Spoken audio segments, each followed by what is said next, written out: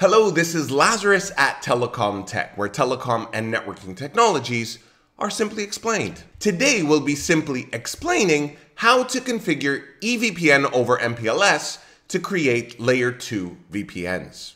If you like what you see and you're learning from my videos, like, subscribe, and enable notifications. There's much more content to come, so this way you'll be able to stay tuned. MPLS is an extremely versatile data carrying technology that is able to encapsulate a wide range of network protocols, including both layer 2 and layer 3 protocols. In this video, we'll be creating a multi-point layer 2 VPN between these two customers using EVPN over MPLS, and we'll be encapsulating Ethernet frames. Now, EVPN is indeed a multi-point technology, which means you can create layer 2 VPNs on this infrastructure with many more than just two endpoints. However, for the purposes of our topology here, we'll only be creating a connection between two points. So let's get started. Now, much of the configuration of the underlay network remains the same as that used for layer 3 VPNs. Since this has been covered in previous videos, we'll just quickly review it here. We start off by configuring all of these interfaces with the appropriate IP addresses, including the physical and the loopback interfaces. We then configure an IGP, such as OSPF, on all P and PE routers so that all their networks are advertised to each other. The result is that all networks on the physical and loopback interfaces are reachable from all P and PE routers. Now, unlike any transport over MPLS or AToM, which we took a look at in the previous video, which uses a static assignment of pseudo wires, here using EVPN, we must configure MPBGP between our PE routers. And I'll tell you shortly why that is. We'll be using an ASN of 100 for our BGP AS.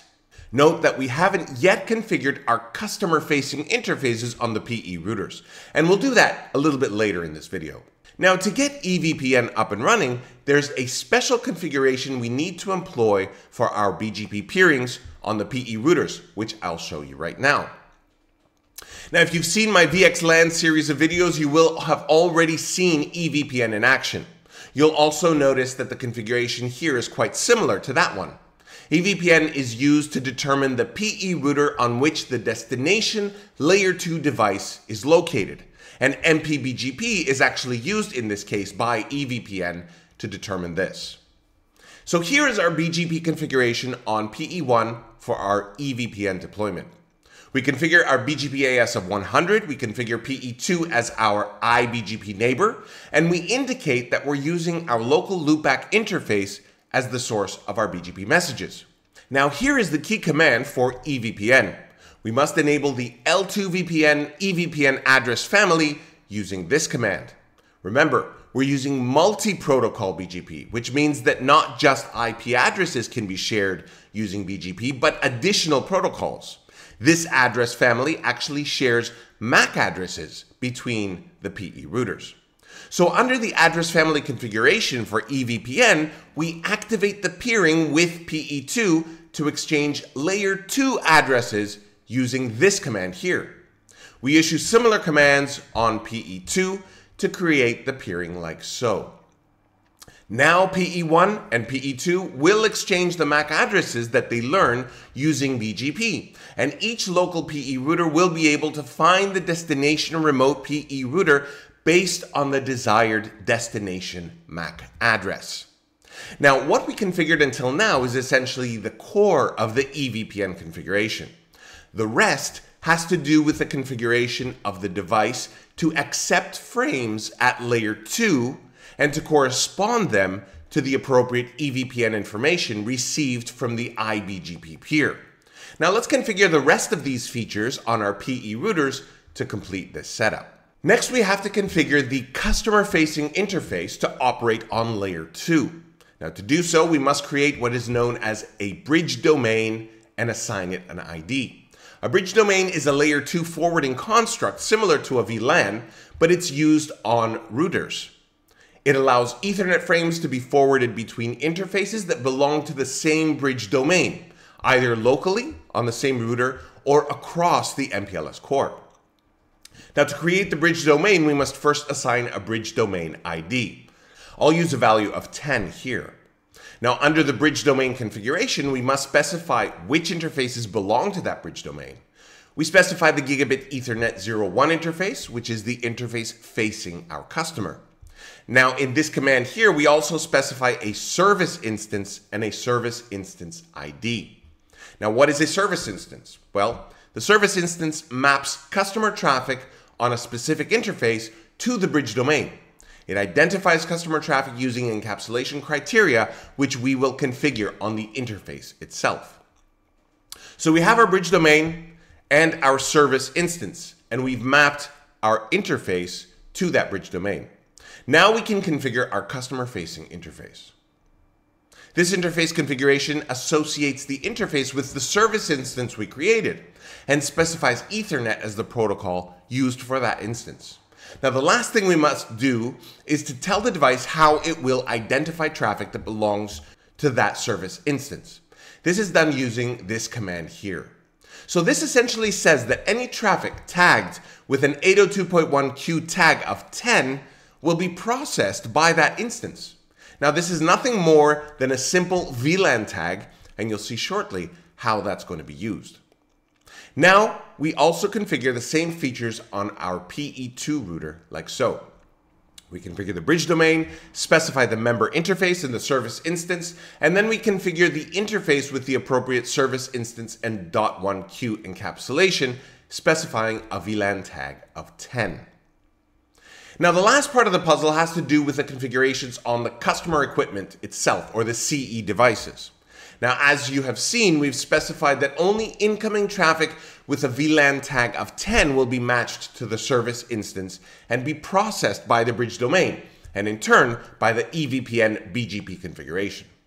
That means that our CE devices must be set up to send layer 2 traffic with a VLAN ID. This can be done by using switches with trunk interfaces allowing VLAN 10, or by routers employing subinterfaces on these router interfaces here, specifying the VLAN tag used by each. I won't go into how that's configured, but suffice it to say, this can easily be arranged by each customer site. We'll assume that we're using routers with subinterfaces. So how does all this work in action?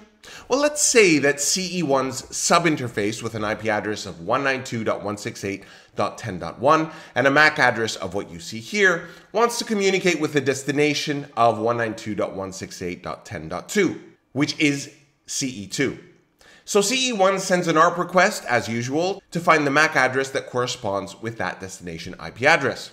That ARP request includes the VLAN tag, so PE1 knows that it must be processed by the bridge domain.